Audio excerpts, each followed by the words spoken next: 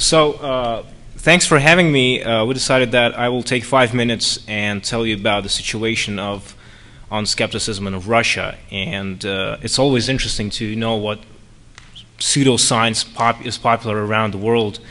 And each country has its own thing. Like, for example, Australia has dowsing, and United States probably uh, has the big thing is probably talking to the dead, right?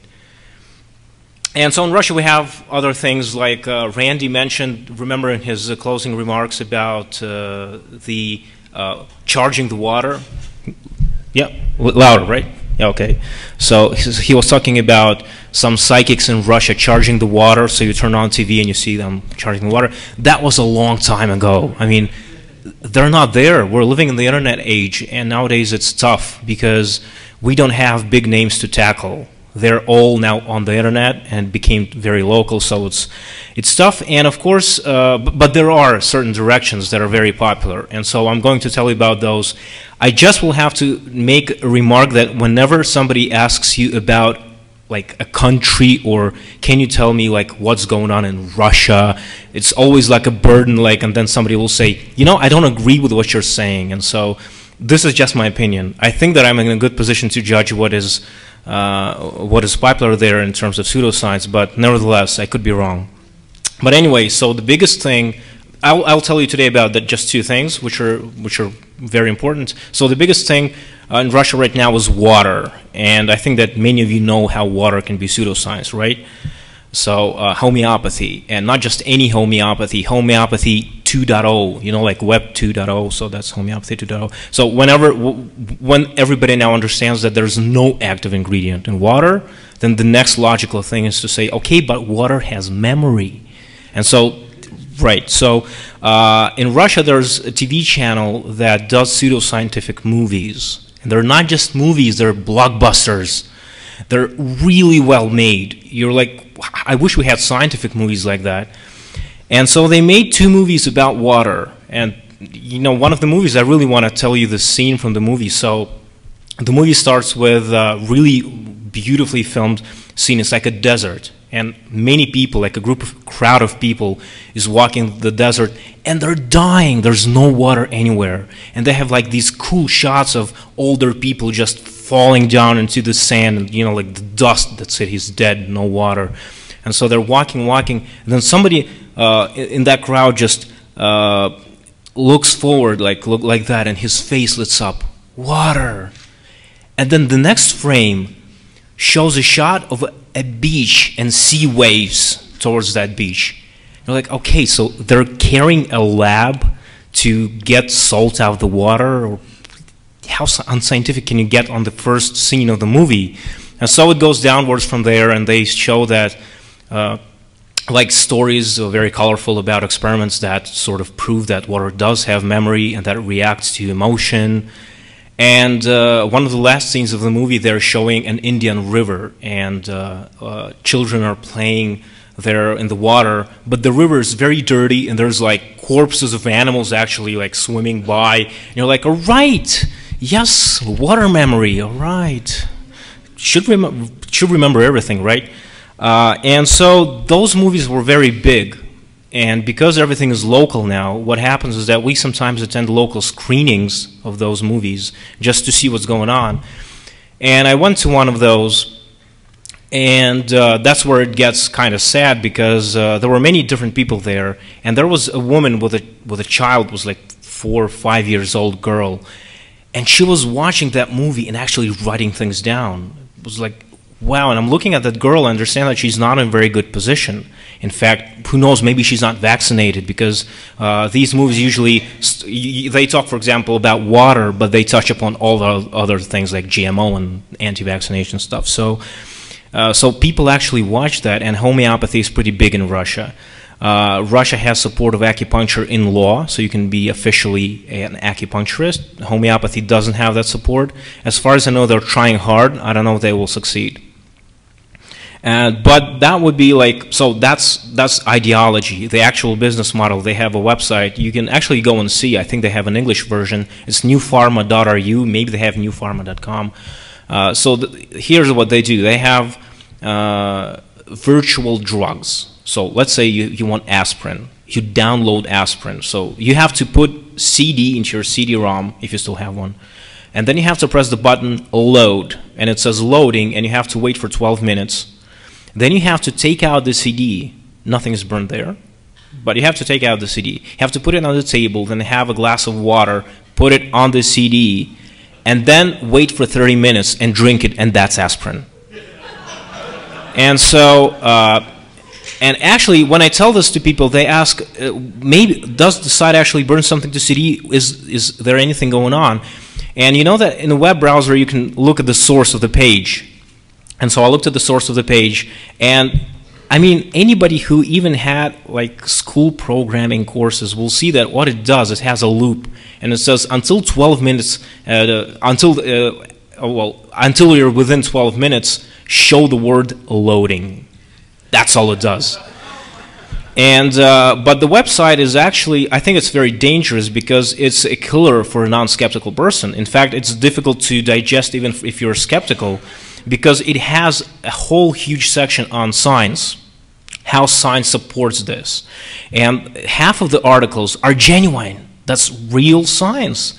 Uh, but the thing is that it contains, it has nothing to do with what they're doing, but it has like the word water in it and like something else like charge. Uh, you'd have to go and actually read it to understand that it's, it has nothing to do with it. And the other half is homeopathy journals.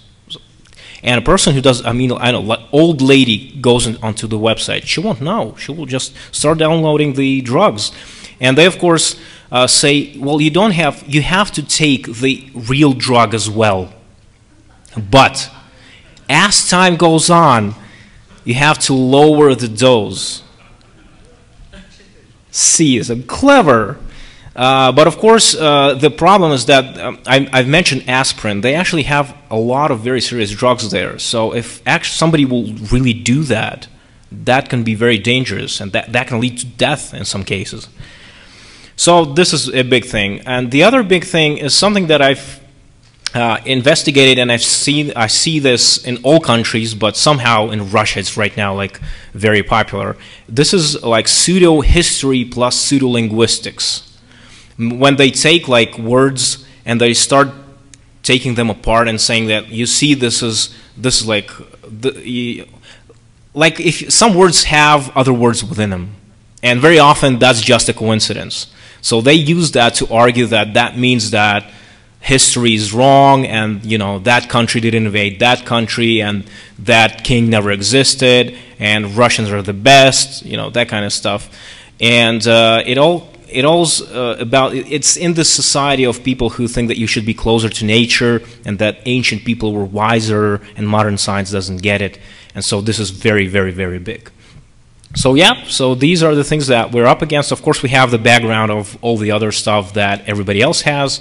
Uh, anti-vaccination, and I have to be very careful saying that, but so far I don't think it's that bad. For example, as in the United States, it's people seem to vaccinate at least the usual like child programs. Generally, I, I don't see any big situations where people will deny that. Uh, but the anti-vaccination sentiment is there just like everywhere else, and we'll see if this changes. And religion is on the rise, so we're still optimistic. so yeah, thanks. Oh yeah, yeah. People. Uh, Susan uh, asked me if I actually said who I am. I'm the founder of Skeptic Society in Russia, and uh, uh, we started like a year and several months ago, so we're very new. We're not the only ones who do this, but we're the only one who, the only organization that actually does skepticism as opposed to, for example, just science. Or, uh, and we're the ones who go offline. So we have weekly meetings in several cities right now. We're doing a weekly podcast, which is crazy. If you are doing a weekly podcast, you know. And we do some other stuff, and we're planning to do a conference this year. So we'll see how it goes. And your name? Oh, my name. Right, right. My name is Kirill, Kirill Alferov. So I, I, I was just used that I have the name here, so I just didn't give it a second thought. Thank yeah, you. yeah. Thanks. Thanks for having me. A question? A question? No. Uh, they're free the first month, then you have to pay a subscription fee. But you can go and try and sign up for the newsletter.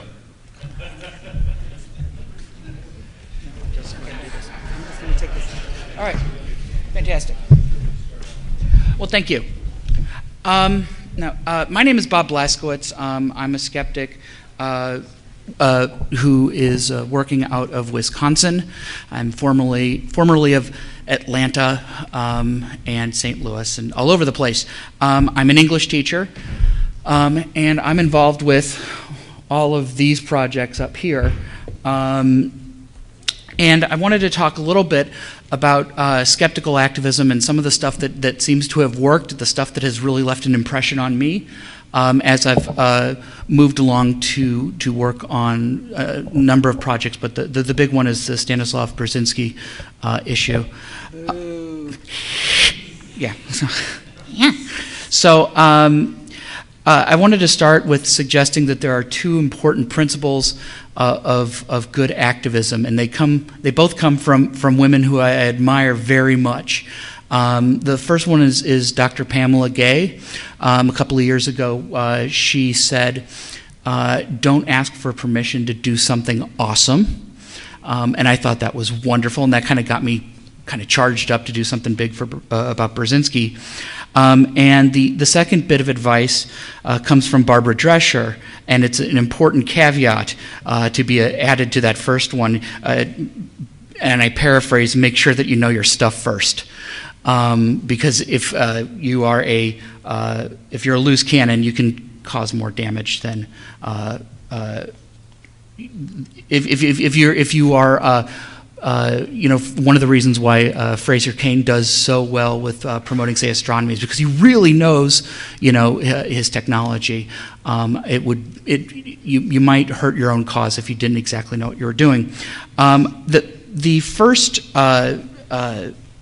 uh, uh, project that I, I, wanted to mention that I've always been impressed by um, was Robert Lancaster's Stop Sylvia. yeah. Um, I think that it, it, it's kind of like an archetype of what like online skeptical activism can look like. Um, and, and, it covers a classic paranormal skeptical claim. It's just right down our, uh, what's the word I'm looking for? Our alley. Alley? Okay, yeah. So I guess Our it, niche? yeah, it's it's just the type of thing that we do. It's paranormal. It's psychics, you know. And one of the things he does one thing and he does that really, really well. Um, he collects the, the, the predictions of uh, Sylvia Browne, or collected, I guess there aren't any more. I mean, unless Chris picks them up. Um, uh, they are, uh, collects and breaks them down into testable, uh, uh, falsifiable claims, and then goes through and just ticks the box. Did they get this, uh, say, this abduction case, uh, did they find the body where she said they'd find the body? Yes or no? You know, um, was the perpetrator, uh, you know, a, a blonde 30-year-old man, or yes or no? And overwhelmingly, we find out that, that she's wrong. So keeping a scorecard. Um, it's straightforward. Sylvia. Yes. It's, it's, that. There's one. That's it's it, awesome. Mark that up to clean living. Um, yeah. So Sylvia Browne was a notoriously um, uh, bad psychic uh, who was on Montel Williams' show. Huh? No, just notoriously. Oh. Yeah. No. Um, she uh, kind of started even a church um, around herself. Yeah. Um, yeah, and she she was just uh, one of the highest profile uh, psychics for a number of years because of her uh, prominence on the Montel Williams show. Uh, he promoted her almost completely uncritically, as far as I can tell, if not completely uncritically. That's right. Yeah, I mean, even her last prediction was how long she was going to live, and she got that wrong too. So yeah, uh, she died about a year ago, maybe, maybe a little bit more. Hmm. During the spring? Okay. Um, so, uh, uh, so I guess now it's, it's stopped Sylvia Browne. Um, but yeah, so uh, uh Robert Lancaster has uh, maintained this site. It, he really did become the uh, go to person, the authority really, on Sylvia Browne and, and her scam. Um, another important thing that he did was he built up context for her failures. You can say, well, this psychic got this, this one important thing wrong. But when you start piling up this, you know, another important case, they were completely wrong. Another important case, another important case, until you find out that, you know, something like 10% of her wild guesses uh, happen to be right. And that, you know, that is pretty compelling stuff there. And it's really important in terms of tone that he, he kept himself out of it as much as possible. Uh, Lancaster kept himself out of his uh, calling the balls and strikes here. Um, he, he kind of intuited or, or took to heart uh, Ray Hyman's uh, uh, warning that you should let the evidence speak for itself. Um, editorializing would just look like bias, and that opens them up to additional charges. So it was very straightforward, very clearly laid out, and it was an, uh, an excellent, um, an excellent site. Um, the next one. Uh, would be Snopes. And this is, this is one I, I, hesitated to include because I don't know if I see them as necessarily being activists or if they consider themselves to be activists. Um, they're actually uh, uh, professionals. Um, the San Fernando Valley Folklore Society was founded in 1993 by David and Barbara Mikkelson, primarily to boost the responses to letters that David was sending out. Um, it turned out that having an official letterhead uh, got a lot more cooperation uh, from, say, the corporations uh, the, that, say, like from Coca Cola. He has an entire uh, section of Coke lore. Um, you know, he, he saw that he was getting more responses when he had a professional letterhead than when he was just, you know, cold writing to these people. Um, uh, the website, uh, Snopes.com, is now kind of that which keeps Facebook in check, right? Um, yeah. Um, and I think the things that make this site work so well is that it is uh, it's carried out, it's, it's executed by trained folklorists um, who, again, they keep their, their opinions separate. Um, they're accused of being funded by the Republicans and by the Democrats. Um, so, which which is a good sign. You're probably doing something right. Um, it also seems to be a, uh, a labor of love for them. They do love the subject, and that sustains them for decades um, as they build up a community. Um, and it still seems to be guided by the, by the principles, by the founders. Um, and so just a, uh, just a shout out to Snopes. Um, now, a few weeks ago, I was in Los Angeles talking about the Burzynski campaign at the Center for Inquiry, and I briefly mentioned the role that Tim Farley had played. Um, helping us devise uh, search SEO strategies uh, to help boost good information into uh, the Google searches that Burzynski ranked well in.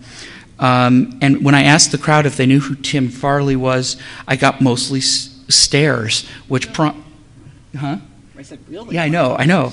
And which prompted John Rail to, to tweet this I'm in a theater filled with skeptics who don't know the name Tim Farley. so, um, Tim Farley. Okay, so I'm going to talk a little bit about the Tim Farley skeptical activism complex. Um, he's, uh, he's the founder of what'stheharm.net and SkepTools. Um, he's kind of the Johnny Appleseed of skeptical activism, as far as I can tell. He is an idea guy, um, and he's very capable. In his, uh, uh, this is what he looks like as a cartoon right? But actually, he is that tall. Um, yeah, yeah. So. Yeah. So he's, he's um, he is a one of the white hats in computer network security um, uh, during the day, but by night he is a skeptical avenger and database maintainer. Um, he's an, the founder of a couple of important websites, what the, what's the harm.net and SkepTools. What's the harm is a searchable, a searchable repository a repository of stories that document uh, the real consequences of abandoning critical thinking. Um, it came out of a talk that he heard at, at, um, at TAM 5, um, which seems to, is that where uh, uh, Skeptic Camp came out of TAM 5 too, right? So that was, it was, that was one to go to. Apparently, it was the idea one. Oh, really? Oh, wow. Okay, so that was that was a that was a hell of a TAM. Um, yeah, so um, he he knew that he wanted to somehow promote critical thinking. Um, SkepTools is a blog uh, devoted to issues in technology of interest to skeptical activism, uh, whether he's analyzing, say, the Wikipedia habits um, of Deepak Chopra and his friends, um, or introdu- introducing us to a technology tool that can be used to promote skeptical thinking, um, such as Do Not Link. Um, which you know doesn't give people Google juice when you use it, um, so you can you can refer people to a site that you don't agree with without boosting their their ranking, or rbutr, which is Shane Greenup's um, uh, Chrome. Uh, I guess it's a variety of plugins now. So um, which adds a layer of meta commentary to the internet. So if you have rbutr installed on, on Chrome or whatever, um, a little window pops up and lets you know when you go to a questionable site. Um, hey, there, there are some, rebut- uh, some re- rebuttals to this you might want to look at as well. So, um, but Tim kind of uh, uh, introduces people to these tools, um, and he is. I think that I think that his, his websites really do kind of reflect his personality. Um, uh, to pilfer a phrase, he, he, wears a size 32 hat, eats loads of fish, and moves in mysterious ways. Um, he's, he's very clever. Um, uh, he's a reliably hard worker. Uh, he's detail oriented um, with a very good sense of his own strengths. And he puts those strengths to use. When um, the engineers got together to build Tim, uh, they had two goals a, a database curating machine um, and to defend the internet from evil. And he's very, he's very good at, at that. Uh, he sent me a, a note um, a couple days ago. He said, quote, one thing I do with both of these websites uh, is specialized. What's the harm does one type of story, and that's it. And it sticks to its rules. I don't try to be everything to everyone. Actually, if I had to do it over, I would drop a number of the categories that I have there. So he details uh, stories that appear in the press um, about, say, the, the, the, harm of homeopathy, and he collects them all in one place, um, or the, the, the, the harm in alt med or uh, in psychics, uh, believing in psychics, and that sort of thing. Um, SkepTools, the same way he says, quote, I know there are too many topics in skepticism for me to know them all, so I focus the blog on things I know well and have talents to bring to bear. In what's the, in what's the harms case, that's my good research and curation skills and ability to present information. In SkepTools' case, it's my technology expertise in writing. Um, he's a creative and productive mind and tries to put new technologies to the service of uh, critical thinking. I believe he was uh, he was advocating uh, the type of stuff that guerrilla skepticism on Wikipedia was doing, um, and then it took uh, Susan to get that off the ground. So again, he's he's kind of like the Johnny Appleseed of, of, of skepticism. Um, at the same time, his database curation skills have led to a massive database on uh, skeptical history and um, uh, a lot of things that have appeared on Lanyrd over the last several years. Um, so yeah. Uh, the next group who's done a, a, really good job, in my opinion, is is Stop the AVN. In fact, just all of freaking Australia um, is is is really effective um, as far as I can tell. Um, Stop the AVN is a face group, Facebook group that was established in 2009 to to fight the influence of anti-vaccine activists in Australia. Um, what they're trying to do is to deny, specifically it was Meryl Dorey, but um, to deny her, uh, the, the, the, founder of the Australian Vaccination Network, which is an anti vax group, to deny her the opportunity to speak unchallenged in the media. Um, uh, and to they, they, sought to change the perception of her in the media from being a vaccine safety uh, watchdog um, to being the anti vax activist that she is. Um, and so they promote the safety of vaccines, advise the media, and put them in touch with real experts on the science of vaccines. Um, uh, they, they achieve this primarily through uh, social media, and, and this is important, they complain to the regulatory agencies in Australia um, when they notice that things are wrong. Um, and this is very, very important. The authorities can't take action unless they know that something is, is going on. Um, so that's an important role that skeptics can play. Um, they did have an especially awesome action, and I, I just love this one because it was so audacious. Uh, in December 2011, when Meryl Dorey uh, appeared at the Woodford Folk Festival, um, they were unwilling to have her tripe promoted to such a huge audience without any check. Um, so Stop the AVN, Stop the AVN hired an airplane to fly above the fairgrounds towing the message, vaccination saves lives, which it's just so wonderful. yeah.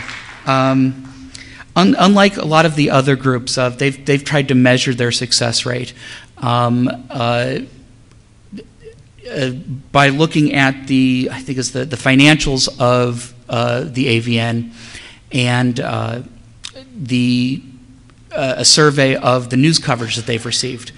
Um, and what they have found is that the proportion of unfavorable mentions has gone up since the founding of the AVN uh, for Meryl Dorey and for the AVN. So they, they seem to have had some sort of uh, uh, effect.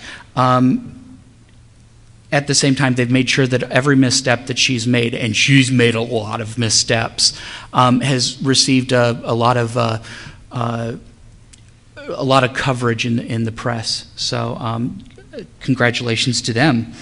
Um, next is the 1023 campaign. Yeah, that was a good one. Um, this one uh, I, I, I, included because it was, it was a global campaign um, that managed to harness the, uh, the internet for skeptical purposes, uh, a large coordinated intercontinental um, campaign. They even had someone in Antarctica.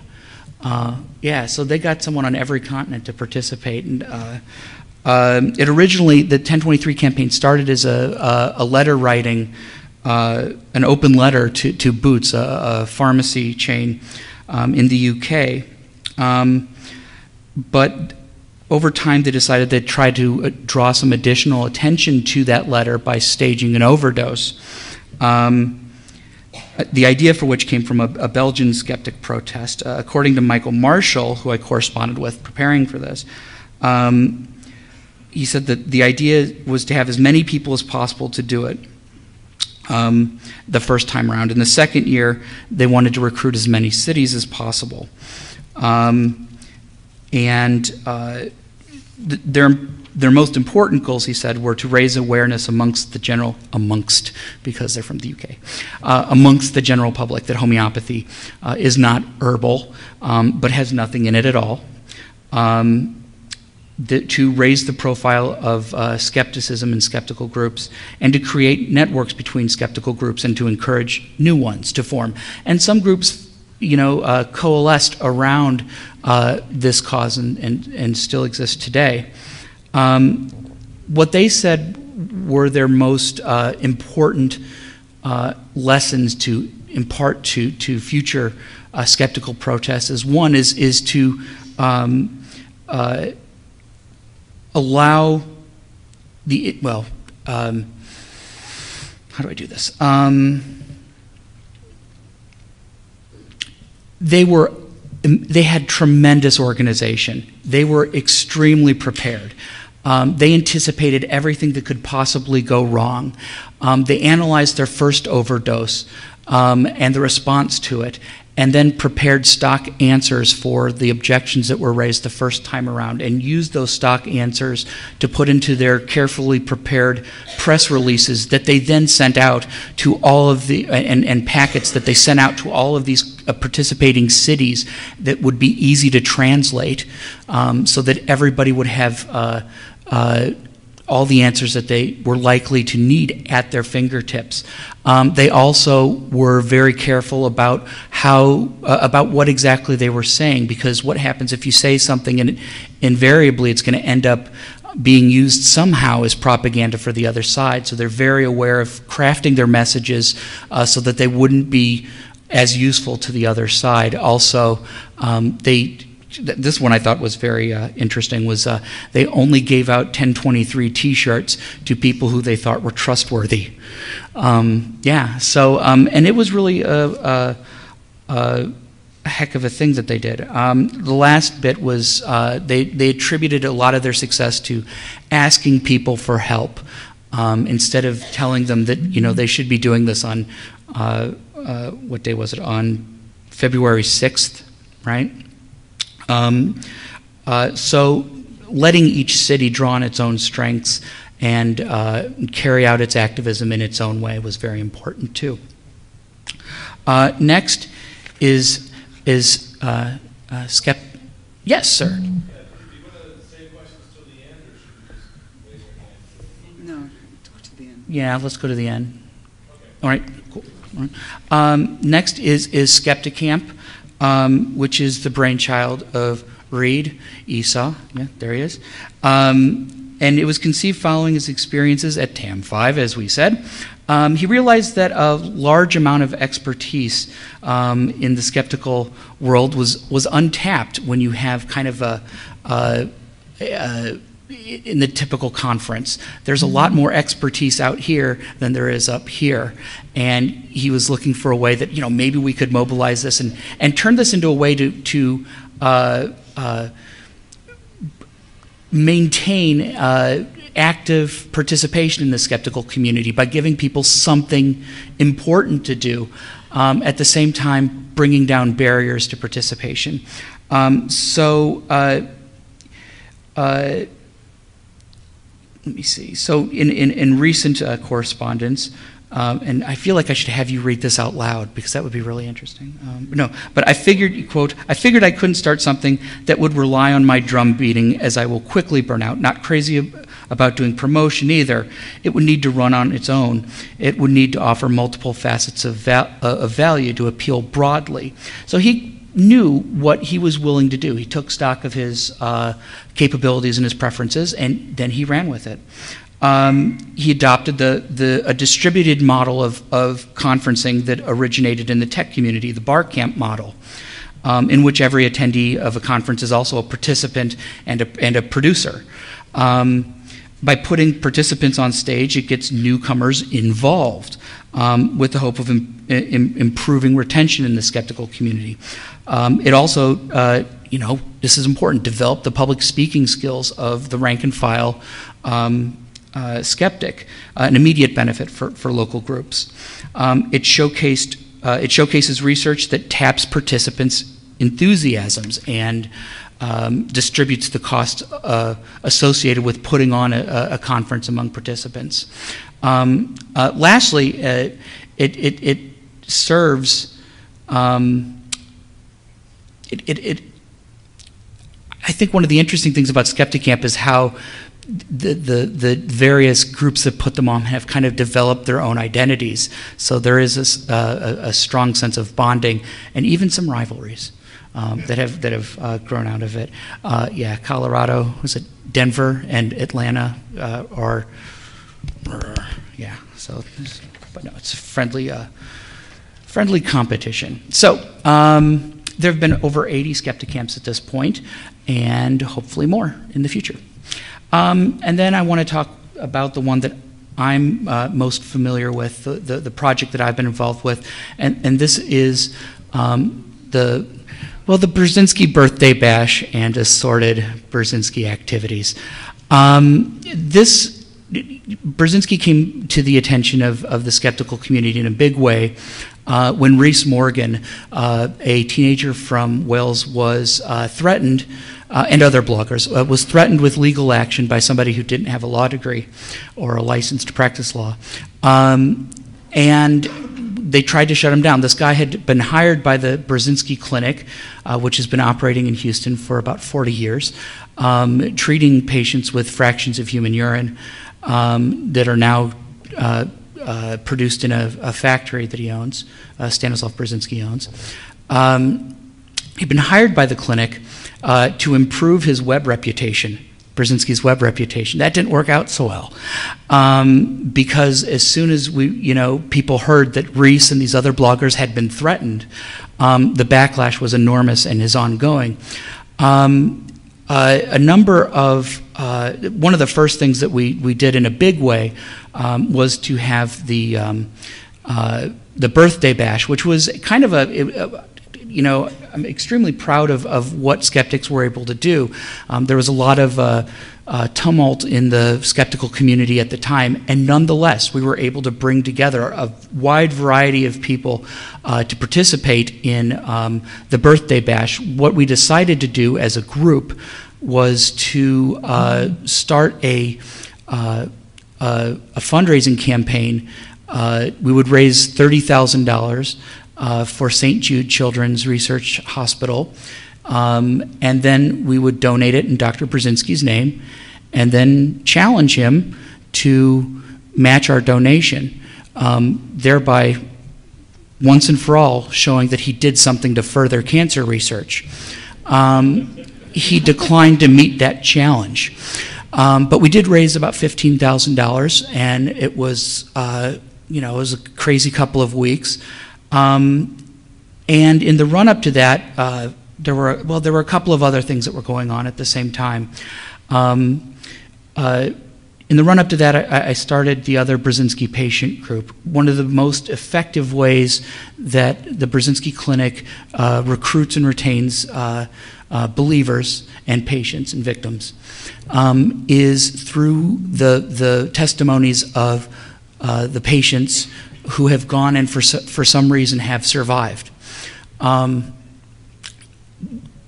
there were a lot more there are a lot more stories of people who've gone and who haven't survived, and we started collecting those very early and started putting them on a website, uh, the Other Burzynski Patient Group, which you'll see at the upper right.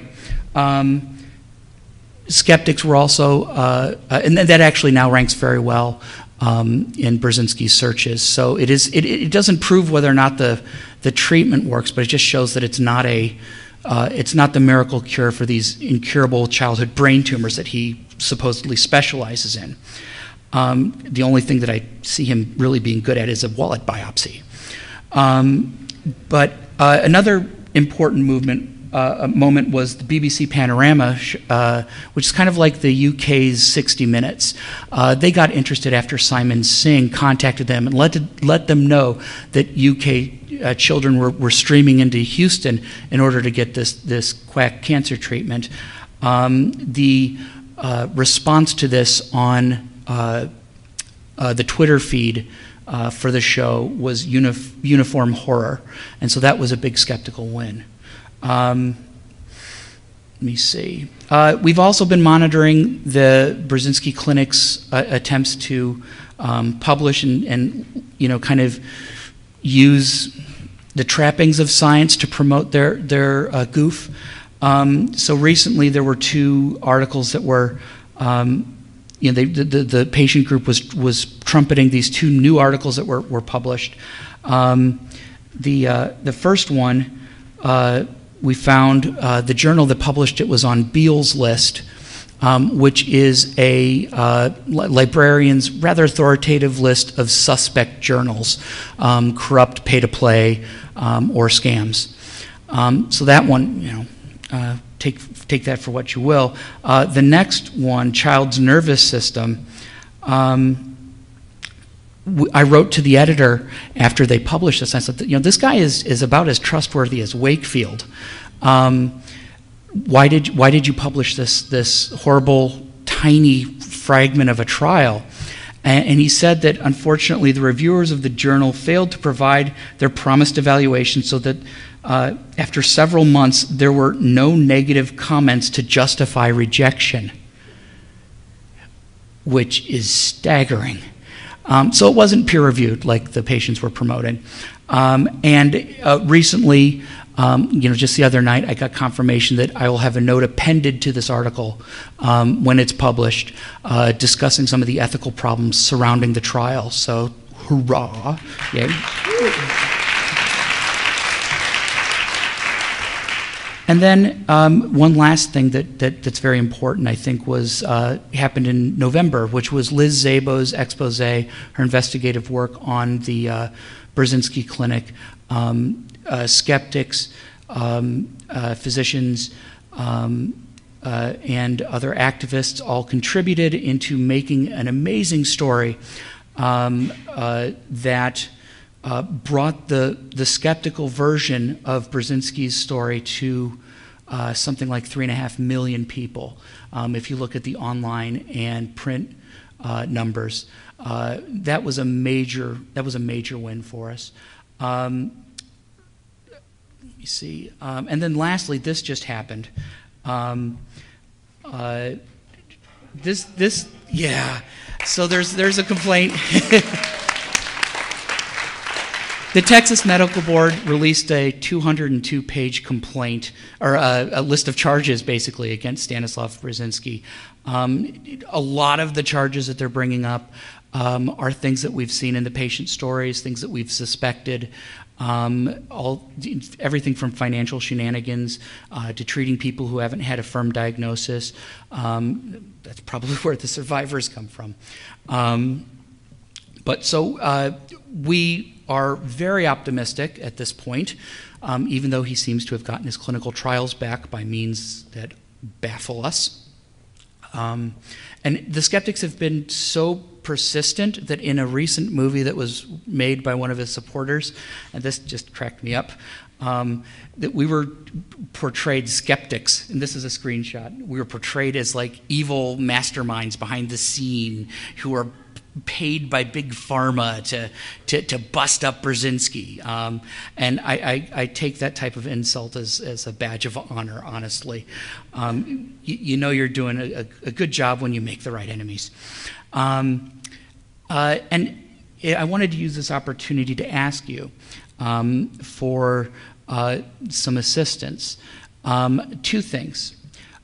Recently, a young woman uh, by the name of uh, Abra Hall uh, died. She was one of uh, uh, Burzynski's patients. She had a she had a really bad brain tumor, um, and they the family went from Washington State down to, to Houston to uh, for for treatment. Uh, where thirty-six thousand dollars of their something like that, thirty-four, thirty-six thousand dollars, where they lost that money to Burzynski and, and, felt like they were pushed put back. They ended up in the USA Today article, um, and I know that the, the, the mother, uh, Stacy Huntington, uh, has gone to the Texas Medical Board to complain and intends to, to see this complaint through. Um, Abra died on the 3rd. Um, and I was hoping um, that I could make an, an appeal. They're raising money to, for burial.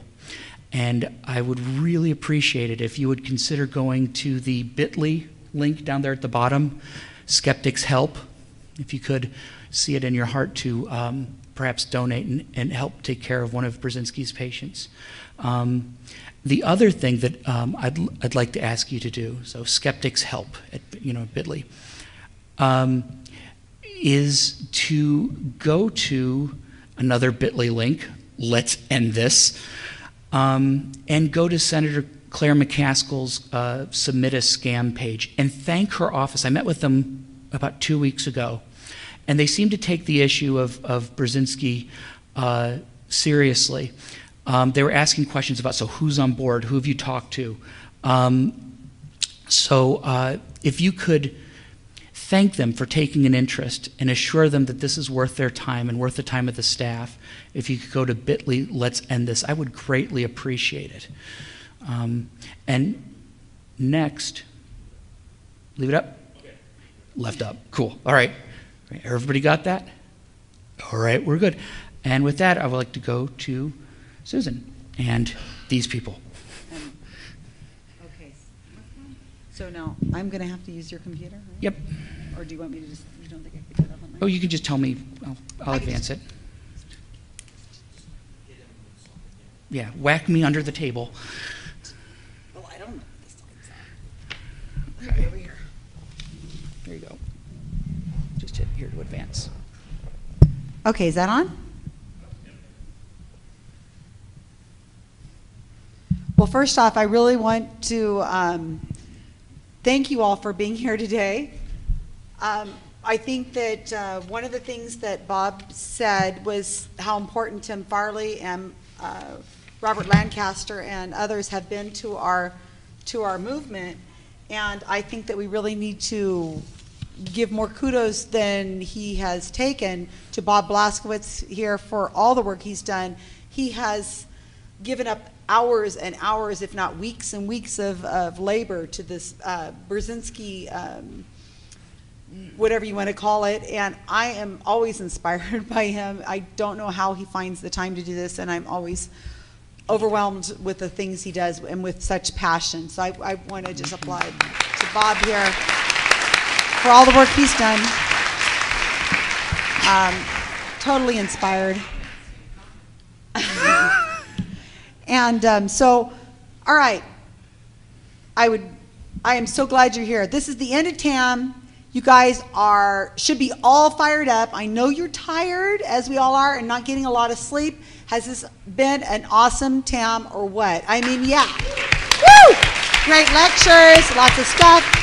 What you're not seeing a lot of is, in my opinion, is enough activism, enough workshops that are teaching you how to do these things. And Bob and I talked about this. Oh, by the way, my name is Susan Gerbic.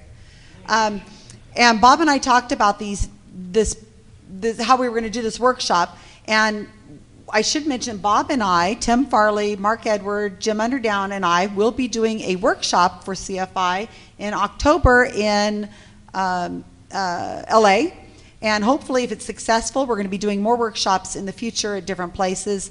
And we will come to your town if you can get enough skeptics together who will actually pay so that they'll pay for our room and board. We're cheap, you know, and, you know, we can sleep on whatever. They can sleep on couches and things. And and airfare. We will come and we'll do an activism workshop, which is this is kind of a an idea of what we're going to do but it's much more hands-on. So Bob and I talked about having you guys break out in groups, having you guys start working on problems, and do some real activism today. But we just do not have the time. But this is what we want to do, and I think this is what is needed. Because a lot of these lectures and, and conferences you go to, it's very passive. You sit in the audience, you are listening, and it's wonderful and great, and that's what I did for many years. And finally, after listening to Tim Farley, I said, it is time for me to stand up and do something because I am done. It is, we are need to get this done and it's, and we're just been preaching to the choir for far too long. So now is our time. So this lecture that I'm about to give you is um, going to be very quick because I only have so much time.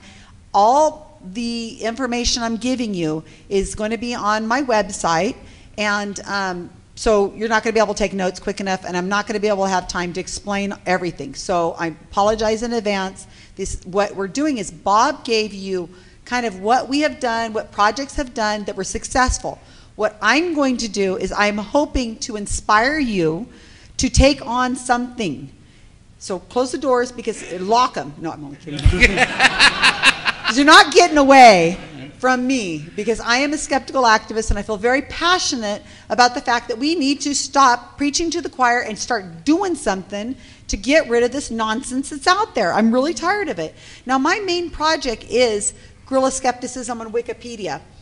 And I don't have time to go into detail explaining it about it to you. If you want to join my Wikipedia project, we need you, especially if you speak other languages. But it is work. My teammates are uh, the my peers are amazing the stuff they do. It is incredible and i train and i train and i train and it is a lot of work. But some people find it fun work you know i mean it's work but it's fun work to some people. So it's not made for everybody. So i'm not going to be lecturing on gsow today. Sorry. Because we're going to talk about the things that are probably you know, you guys can find something that fits your lifestyle, something that maybe is something that's going to take a lot of time or something that's very, very quick. And as I said, I'm going to go through these fairly quickly. Um, we had, I, you, we've been here together for a few days now, and you might have seen that some of my friends thought it would be embarrassing to me to, um, you might have seen, to hold the sign up over my head when I sat down that said, Susan Gerbic is the most powerful woman in skepticism. And I laugh because I don't embarrass, but, um, and it's been kind of fun. And it's a joke, okay? You know, I know I'm not the most powerful woman in skepticism, but I wanted to kind of just bring that back out to you all. You all are the most powerful people in skepticism. When we are together, especially with crowdsourced projects, there's no stopping to us, stopping us. All these wonderful things that Bob mentioned and more we can achieve and do if we just kind of find our passion and you guys match up to the things that are probably the things that are your that you feel passionate about okay and so if i So here's where we go from here. So this is kind of what I'm talking about. We're gonna. Uh, this is Daniel Loxton, one of my favorite people, who's, who started off with a blog and um, talking about. And see, you're going to find all these links. You'll be able to go to these links when you go to my website. That'll have you know, so you can find all this information. So like I said, try not to write it down. Just try to absorb all the information I'm going to give you as quickly and just go. Leave this room going. Wow, I feel inspired. I want to do something. I want to do something. I think there's something for me to do. And maybe it's not exactly what I mentioned, but maybe it's going to inspire you to think of something else that is very similar to it that you have the special skills to be able to do. So, all right, here we go. Where do we go from here? As you can see what it says up there. One of the things you should do is follow Tim Farley's blog, Skeptical Software Tools. He has the tools that are going to make whatever project you want to do easier for you to do if that makes any sense whatsoever. So he's just got the, the software and the, all, there's all kinds of things out there that are being invented all the time that Tom, uh, Tim writes about.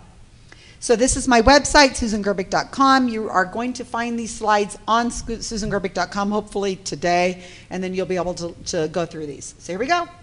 So GSOW is a project that is three years old. Happy birthday to us. We just had our third birthday. And many of my teammates are here. A lot of them have the the gorilla shirts on that I'm wearing. See?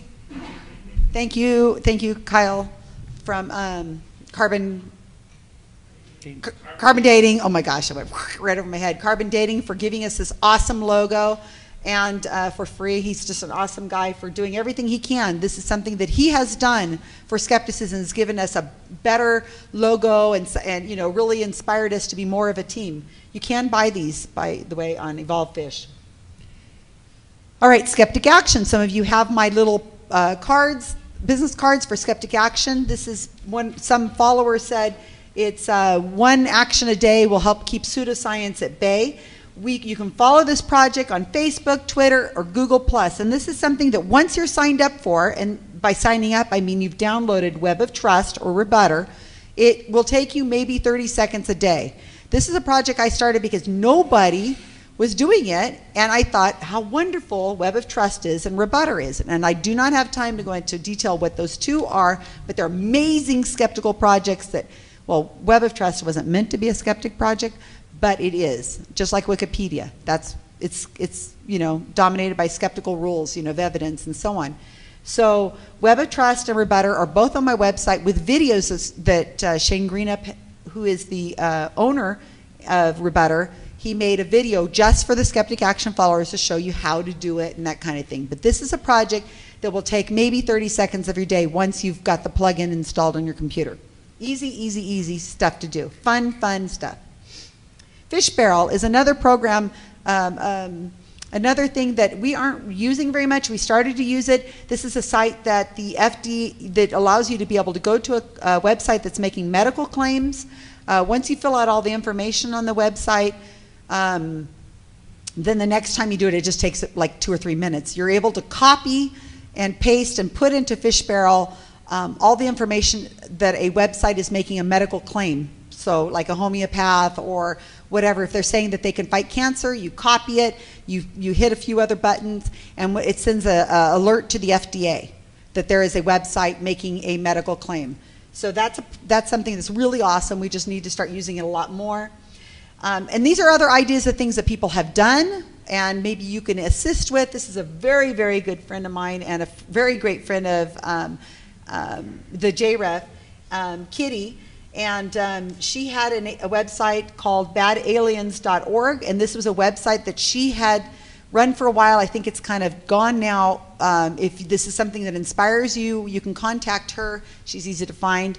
And start working on this. It's a website for people who think they've been abducted. She's very kind, just like Robert Lancaster was. People could come to you and um, talk about the, the fact that they think they've been uh, abducted by aliens. We have to remember as skeptics that regardless of the fact that we think that's nonsense, but to these people, they feel it is real. This is a real experience, and it must be terrifying to think that you can't sleep at night because you may be abducted by aliens.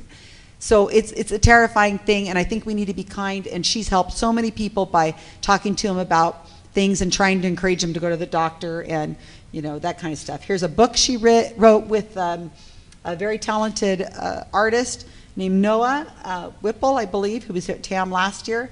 And this is a book uh, on fairy tales, children's fairy tales, and the proceeds usually go to uh, the JREF. So this is something that can be done if you have an artistic nature. She's just taken fairy tales and just changed them around a little bit. Jeff Wagg, who is uh, an older, uh, older, he's, an, he's a friend of mine from, you know, years ago. He has a project called College of Curiosity, um, and he's always looking for people who are interested in that. So just take a picture of that screen if you, if you were, if, or just go to my website. The 1023 campaign, which is Bob has already mentioned, is another one of those. I, I don't know what it is with the Australians and the and the um, and the people in the UK. They just they're just maybe they're just really detailed or something, but they just come up with some of the most awesome things. This is Skeptical in California, Berkeley. It's held every year around May, and this is the largest overdose of people taking um, uh, a suicide. I photographed this. I think there was 200 and something people taking an overdose. How many fatalities? Uh, we're still well. The numbers aren't in. None. Yeah, Greg says none. Here's another project that somebody had suggested to me. I think it was Bob was talking about this, uh, like a what's the harm uh, site that Tim Farley does. This is what's the harm, Dr. Oz. Maybe this would be something where somebody could kindly collect uh, ideas, uh, I mean, uh, you know, possible things that he has done that, and collect it in a way that's readable, uh, well written, and, you know, so that it would come up in the search engines when people are looking for Dr. Oz. Lanyrd, this is another wonderful site that I hope that every single one of you is going to be using when you go home. Everything that is about a conference, every blog, every podcast, every video, your Facebook portraits, as you put them up on Facebook, you're going to take the URL and just stick it into Lanyrd. That way, everybody can see everybody's photos. Everybody can see everybody's photo, uh, blog, uh, podcast, and you don't have to own it. It doesn't have to be your blog or your video. This is, this is um, something you find. Like this lecture right now that's being recorded will go on Lanyrd, so you'll be able to find it. My slides will go on Lanyrd, and so on. And this way, we can all kind of network together. GSOW uses this site all the time. Um, skepticality. All right, this I'm on skepticality every two weeks. I love a lot of podcasts. There's so many great podcasts out there. This is a um, um, a winner of the Occam Award from the UK this year. I was very honored to be there to accept the award. But I'm not speaking just about skepticality. You know how you listen to these podcasts and they say to you at the end, if you like our podcast, could you please go and rate us? You know what? They mean it. We need you to go rate these podcasts. If you take just a few minutes a day or every so often, rate a podcast. The, every time you rate it, it brings up their, their, um, their notoriety. It, it helps out, it branches out. And it's getting beyond the choir when you're able to do something like this because there are people out there who still haven't heard about skept, uh, scientific skepticism and, and so on. How many people in this room have come to TAM or whatever because of a podcast. Thank you. All right. So we need to rate these podcasts to get them out to others and continue. So rate a podcast. Maybe every time you change your light bulbs in your house, you know how you your uh, you change your time in your clocks twice a year, or those who change your time. That might be a good idea. Here's a here's a project that is done by uh, Pamela Gay. And uh, I know she needs help. I, she needs support. She needs help in this. This is a really great uh, thing to look into. Uh, Penny for NASA. This is a prog, uh, uh, something kind of from Neil deGrasse Tyson, who um, has talked about if we could just get a full penny for NASA's budget instead of the half a penny that they're getting right now, we could change the world. But um, so, So Nathan, Nathan Miller over here sitting down, one of my, one of my great editors, the leader of uh, one of my uh, English Wikipedia teams, who's just totally embarrassed right now. Uh, he wrote the Wikipedia page for Penny for NASA that we first put a mention on Neil deGrasse Tyson's Wikipedia page when he came out in Cosmos. Neil deGrasse Tyson's Wikipedia page views went from 100,000 a month to 330,000 views a month. And so Penny for NASA is now receiving about 1,000 views a month because it's on his page. But first, uh, Nathan had to create the page. It took a year, but we got it. So this is a program. Look into it if you're interested in astronomy and increasing NASA's budget. I know they need your help. Franklin's List. Ah, Love this. This is a friend of mine, Shane Trimmer, has and friends. Eugenie Scott, I think, is also involved, so you know it's awesome. So uh, Franklin's List is an action. What they're trying to do is get, check this out. What an idea. Let's raise some funds and help support people who are STEM, you know, science, medicine, all that kind of stuff, into office. What a concept, okay? So this is something else if you want to, if you got a few dollars you want to donate, or if you want to run for office yourself, which would be really great. Odds must be crazy. If you guys have not seen this site, you need to go here. This is an IIG uh, project. John Rail and Wendy Hughes um, have come up with this idea, and Jarrett Kaufman had um, was the the originator of this odds must be crazy this site is a backdoor to getting people thinking about odds and coincidences and you need to get this and have your coworkers look at the site and so on because this is a very easy way to talk to people who are perhaps a little not thinking the way we would probably like them to think in the critical thinking area, but you can have conversations, really great conversations about coincidences and what does it really mean when you have a when you have a coincidence. They break it down, they tell it in a fun, entertaining way. You have to check out the site. This is definitely the one you showed your your friends and family. Here's a friend of mine, uh, Brad Levin in uh, the UK. I met uh, when I was uh, lecturing in QED this last year. Which, if you can't, if you can get to QED, go to QED. It's in uh, Manchester every every April. Skeptival is just that. It's going to be a free thinkers in a field. This is a man who's who has run conferences uh, for years, and he's going to try to put on one, and he's looking for volunteers and people to help out with with that. Doubtful news. What a great idea. Sharon Hill, I'm sure, always needs some help. And if you can help her out with, with this, this is also getting out beyond the choir. Uh, Edinburgh Skeptics, here's an idea uh, that they did ghost busted tours in their town of Edinburgh, which we, uh, we were just in, which is an amazing place. You should go if you can. Uh, Edinburgh Skeptics, I'm very, very impressed with them. They uh, did their own ghost tours, but they're ghost busted tours. Creative idea. Um, and uh, anybody get the reference? Down with this sort of thing? Uh, okay, cool. Um, Sterling introduced me, my son Sterling introduced me to um, Scientology add-on kind of activities. This is really powerful. Apparently in Germany, well in, in um, Berlin, um, Scientology is almost done. They've almost closed up shop. They've only got like 100 members or something like that. And part of the reason is because of Anon protests. So, you know, Logical Fallacy Tarot, this is uh, Lynch. He is coming up with some beautiful tarot cards that you can use for logical fallacies. He's been working on this project for a year or more. He could definitely use some encouragement to finish because um, everybody's like, I can't wait till we get these cards out. You'll be able to use them in a lot of different ways, maybe using the beautiful, beautiful artwork in your online discussions every time somebody does a logical fallacy. It's better than saying, that's a straw man. It's like, ooh, you can give this beautiful card. So Truckee Lynch, you can see his name on there. Uh, here's a couple more things. A good friend of mine in Salinas area, Monterey County Skeptics, he has a Christmas tree farm. He's going to be doing school lectures um, talking about you know, evolution and, and bringing in the school kids to, to talk about, you know, the growth of trees and all that kind of stuff. So maybe somebody in this audience has some kind of niche where that is something that might inspire you to think of how you can get school kids to and talk about biology and so on um, science festivals like the Edinburgh Science Festival, um, Dragon Con, they were doing, and several other cons, they were doing kind of fun stuff and then they added on the science stuff. So Edinburgh Festival every August runs for the entire month. It's an arts and crafts kind of thing. Well, they did a science, uh, they went and did a skepticism thing and just latched onto it.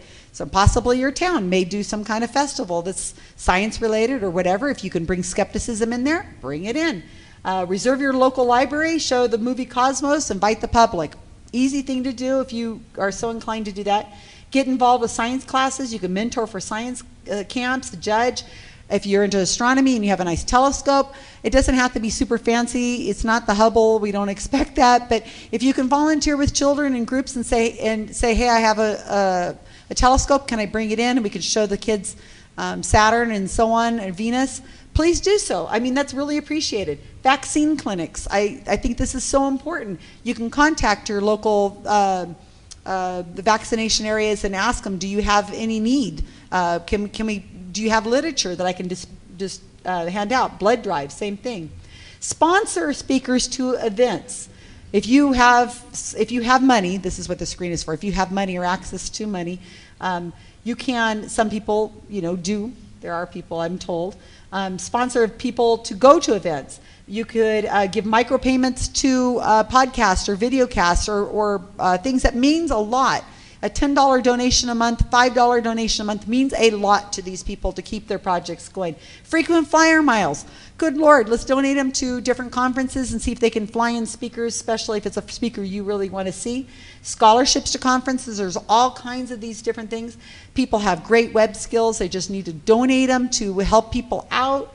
Um, audio expertise, I am not an audio person and I'm learning as I go. People are constantly helping me. If you're listening to a podcast and you just think, ah, it would be so much better if they just did this, well, you know what?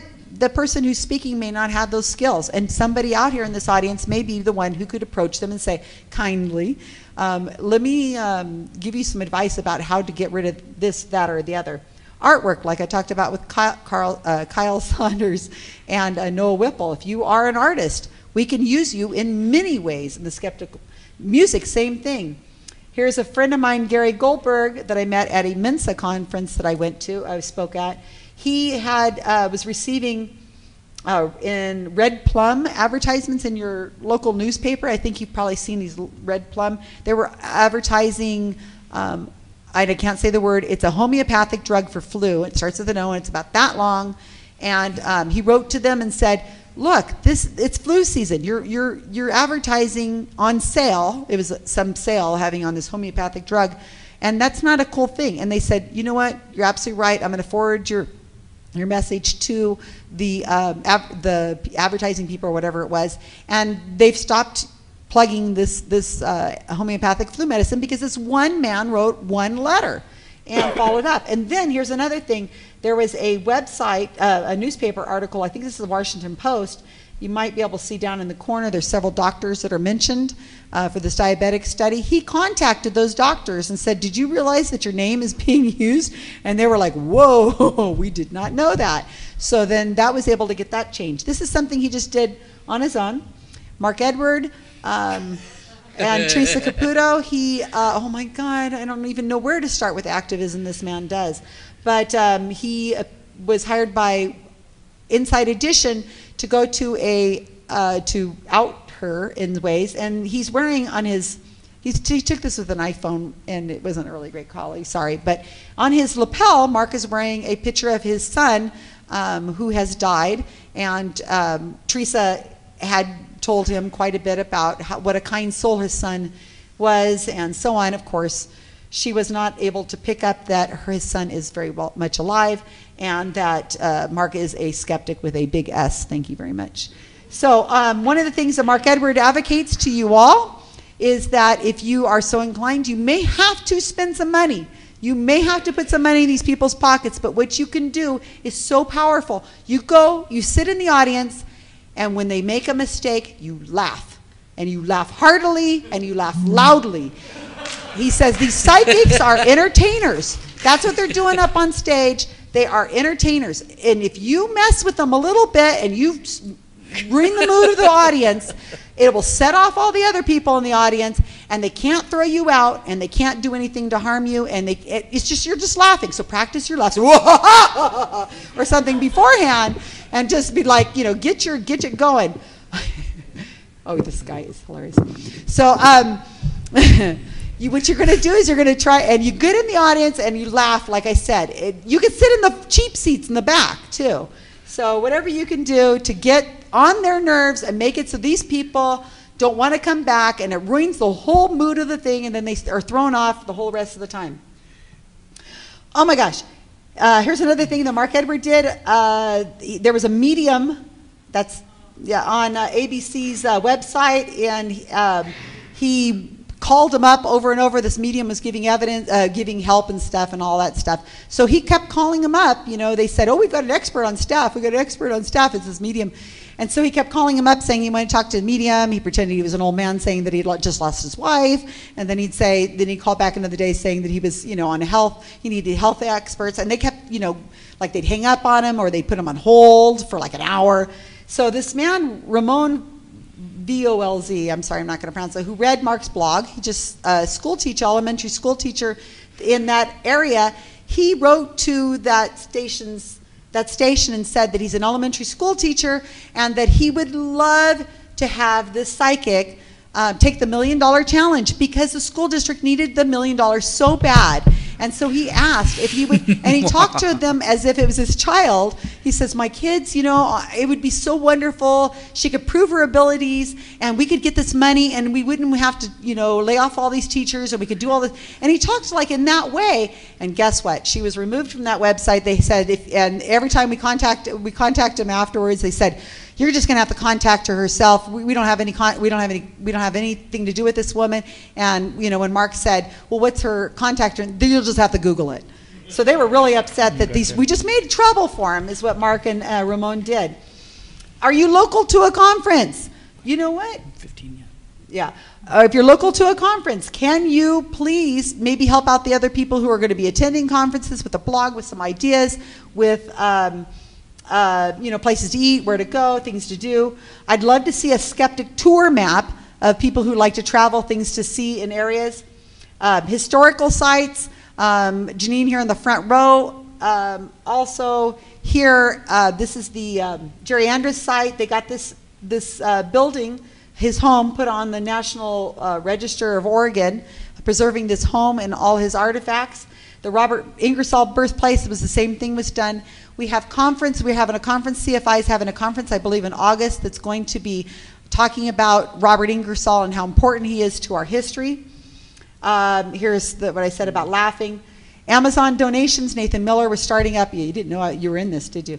Was starting up a site whenever you're going to go to Amazon and buy something. If you go through a skeptic's website first, you just click on the skeptic website of your choice that has an Amazon link, and then go make your purchases on Amazon. They get a, a few pennies of your of your purchase each time.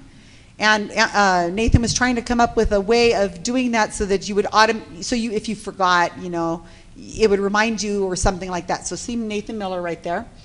Uh, Independent Investigations Group. Oh my gosh, I can't even go there because we're going to run out of time. Fundraisers, Knitters for Skepticism, uh, crafts and, and, items donated for scholarships. We need donations for all kinds of things.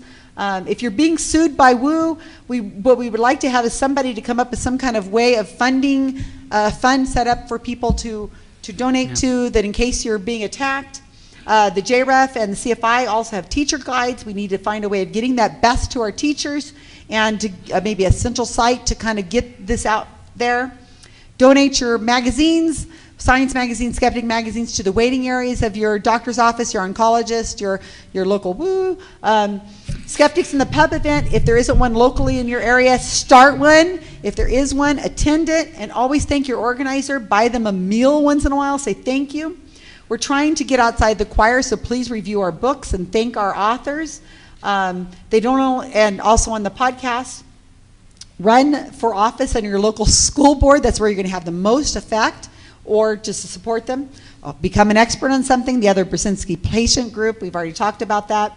Book review project, this is Kathy Moyd, whose hand is going to right there in the front row. This is something that she's going to be uh, running. It is, we are coming with names. Uh, we came up with the idea of Amazonian skeptics. What the idea is, and we're not sure of that, what we're, and that kind of fits the gorilla stuff. But what the idea is, is that we're going to, what she's going to coordinate is people who are interested in writing reviews of paranormal books, bef- probably before they come out. She has a way of getting the books.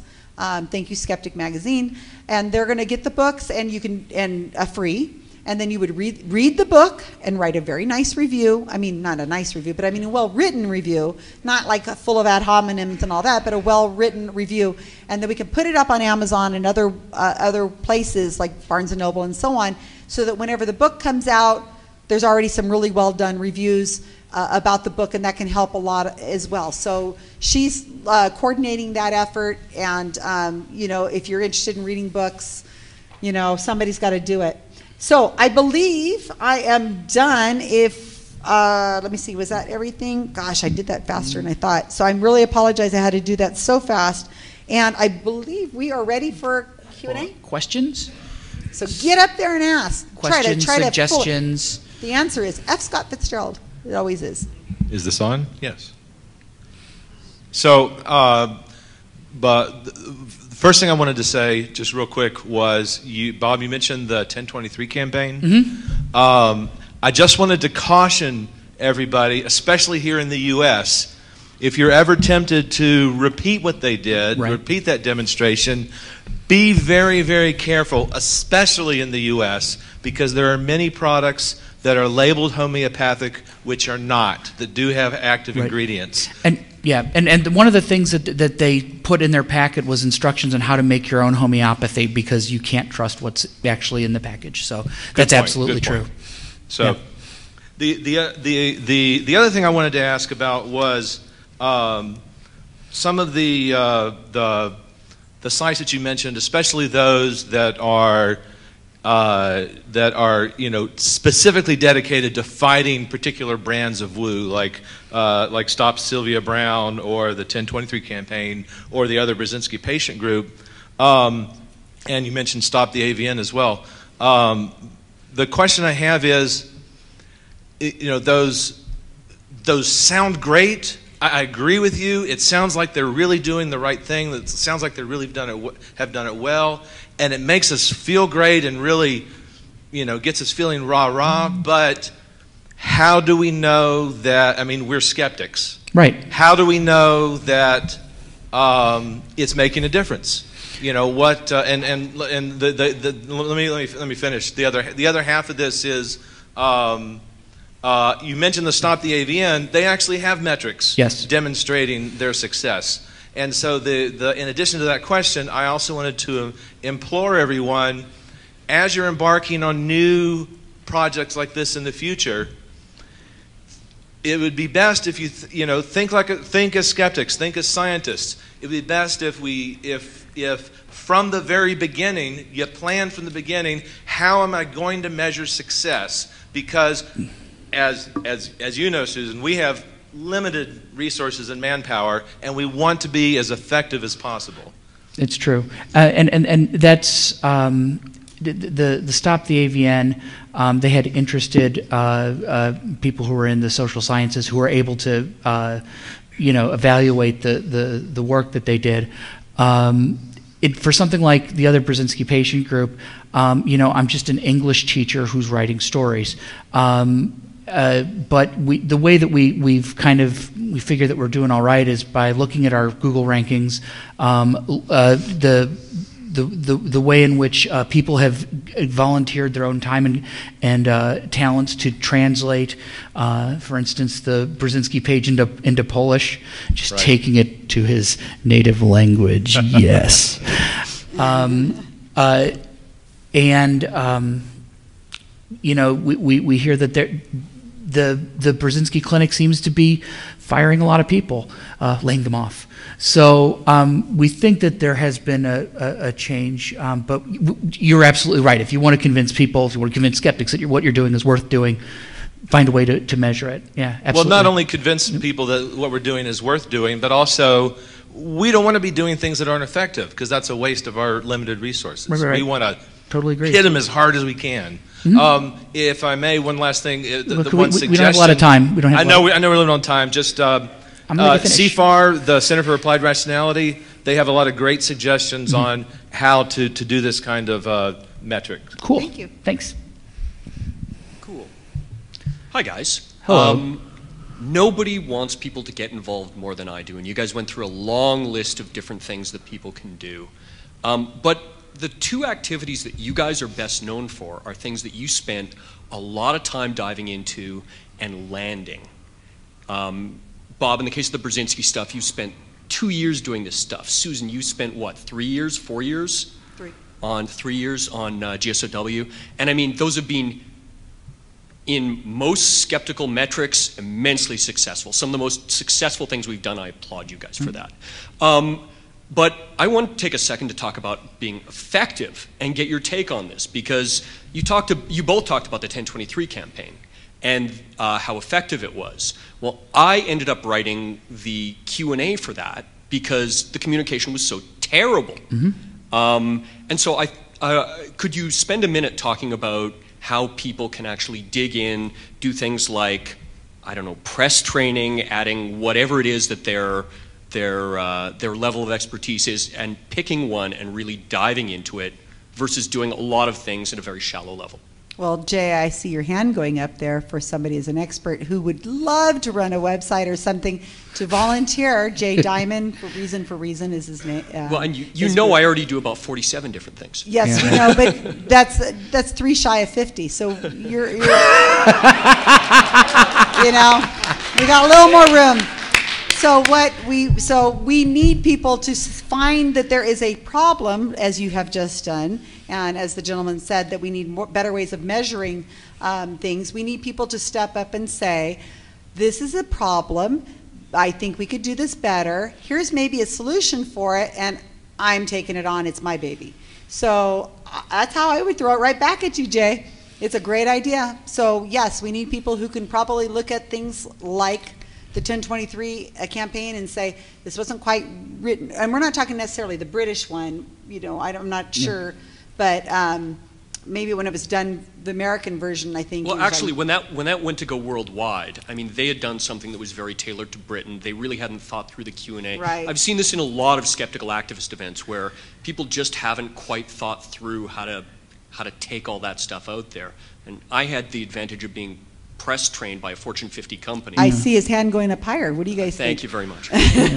but um, just just this idea of adding some um, uh, some value where, I, I where think you have that expertise. there would be a, a lot of value in professionalization of this sort of thing. I would love to see money behind this. I'd love to see some lawyers behind this. I'd love to see some trained press people behind this. You know, C- CFI and, and JREF have done a great job supporting a lot of the skeptical activism, um, but we still don't have that core, you know, um, activist uh, uh, foundation uh, upon which to build uh, those those uh, edifices we'd like to see go up. Um, and if if you know ways of doing that, or you know lawyers who are willing to devote some time to this type of thing, please let us know. We'd we'd, we'd love to see it. Cool, so thank you. absolutely, professionalization Jay. is key. Last question, I guess. Uh, We can always continue the discussion later. It, just find us somewhere else. Uh, My question builds upon the previous two. Uh, You spoke about a bunch of the uh, successful uh, activism projects. I am as interested in the the failures, big and small, of the skeptical activism projects, uh, in part because I think we have a lot to learn from them. To understand what causes a particular activism project to crash and burn is to avoid making that, those same mistakes in the future. And I was wondering if, uh, if you could give some examples that you know of, of where uh, projects have, uh, have struggled and why they have struggled, and what we can learn from it. I, I think the first one that, that, that, that comes to my mind is, is where I met Susan. Um, we, we were doing a, a uh, trying to coordinate something to, to kind of expose Chip Coffey. Um, and and there, we were trying to use the global network of skeptics in order. Chip Coffey, he's um, a, a psychic who uh, tells children that the voices in their heads are real. All right, so he's psychic kids. Demons, ghosts. Yeah, and so um, uh, he he tours and he he does his his he's really not a great cold reader, um, but he has a lot of, of, of fervent fans, and we got uh, you know we we a number of, of groups around the country to show up at his. Um, uh, it, it, it, well, at his book signing and at his shows uh, to take notes and to you know kind of survey him. But we didn't really have an end game. We didn't like really have a plan, and so we had all this information, but nothing to do. You know, we, we didn't. It wasn't tailored. We have since done something similar it, with the the the Burzynski uh, group when they were showing the the new movie where the skeptics are portrayed as an evil cabal. Um, and we wanted to know everything that was said during the Q&A with the filmmaker. because we would send those to people who would be able to put those statements in context, and that actually led to things like um, once. Uh, uh, it, it, it very early on during the when the movie was making the circuit uh, of uh, pre-release screenings, uh, we heard that the patient group was going to start um, a website ANP for all. And so we decided to grab the Facebook page, the Twitter handle, and everything that we could in order to delay that and make sure that that you know um, uh, didn't get off the ground. And we did hobble them, and that was because we had a plan. And we specifically knew that we wanted that type of information.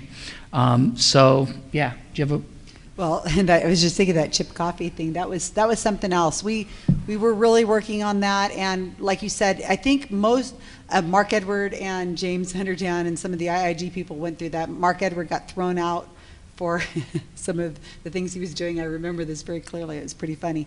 Um, you're absolutely right, Reed. We need to know the, the where we fail, and the problem with it is is that we just do not have the time.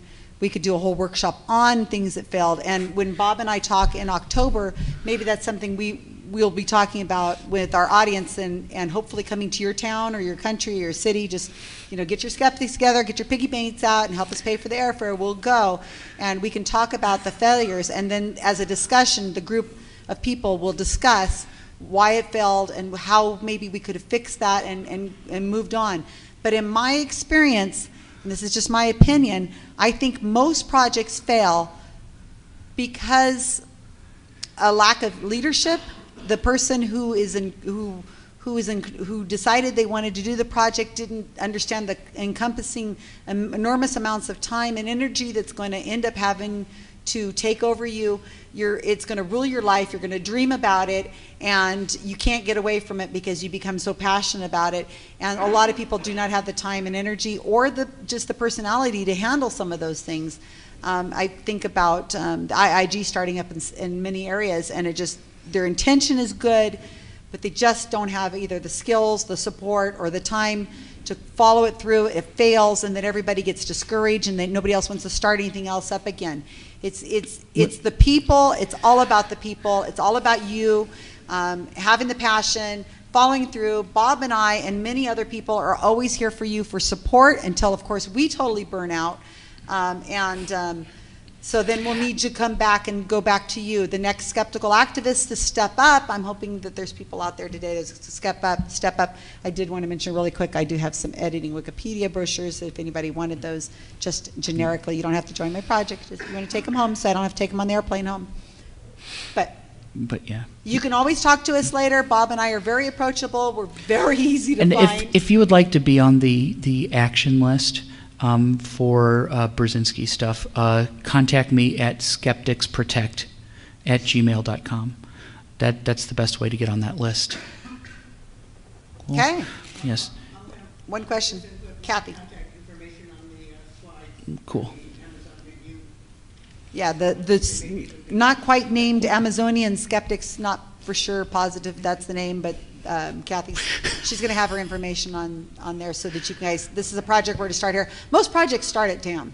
Most Yeah. most projects are inspired by TAM. I have been, and you know TAM and the other workshops, uh, other conferences at CFI. When you leave a conference like this, you know conferences are amazing things. Go to a conference. If that's the first thing you do, go. And if Absolutely. you don't have one in your area, start a skeptic camp or a meetup or something, you know. Absolutely. All right. Well, thank you very much, thank folks. Now, now get out there and do get some skepticism. There. Do something.